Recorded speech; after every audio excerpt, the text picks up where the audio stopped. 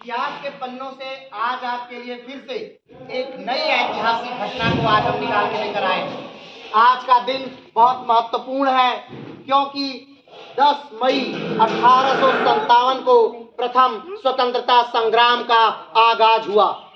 इस क्रांति को चिंगारी तब लगी जब एक सैन्य विद्रोह के रूप में मार्च अठारह को ईस्ट इंडिया कंपनी के अवसर पर गोली चलाई।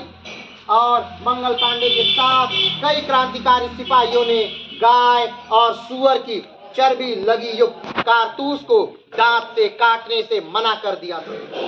इस सैनिक विद्रोह के बाद मंगल पांडे को गिरफ़्तार कर लिया गया और फांसी दे दी गई। पहले स्वतंत्रता संग्राम का आरंभ मेरठ से हुआ। धीरे धीरे कानपुर, बरेली, अवध, झांसी, दिल्ली समेत कई स्थानों पर ये क्रांति फैल गई। शुरुआत में एक सैन्य टुकड़ी दिल्ली से मेरठ के लिए रवाना हुई और दिल्ली पहुंचकर बहादुर शाह ज़फ़र को अपना राजा घोषित कर दिया। यही बिहार में जगदीशपुर की अगर बात करें तो यहाँ से वीर कुंवर सिंह ने अठारह सौ सत्तावन की क्रांति में अपना विशेष योगदान दिया।